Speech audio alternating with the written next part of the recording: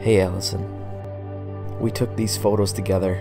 We'll share a wedding together, and I cannot wait to spend the rest of our life together. Remember when we met and talked through the entire night in that tiny bedroom on the west side of Milwaukee? I always will.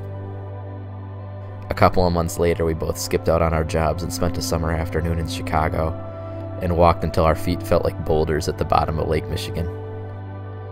That moment mattered more to me than anything in my life. I knew that night as we drove home I wanted to marry you.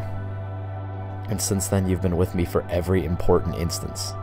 There's times you took the lead and showed me worlds I've never been to. There's times you followed me to the depths of hell and back just to make sure I didn't get lost along the way. It sounds impossible, but real love changes what's possible. This life we're starting together is going to be one hell of a journey. And just like every road trip or walk in the park, I want you right there next to me. Your best friend, Justin.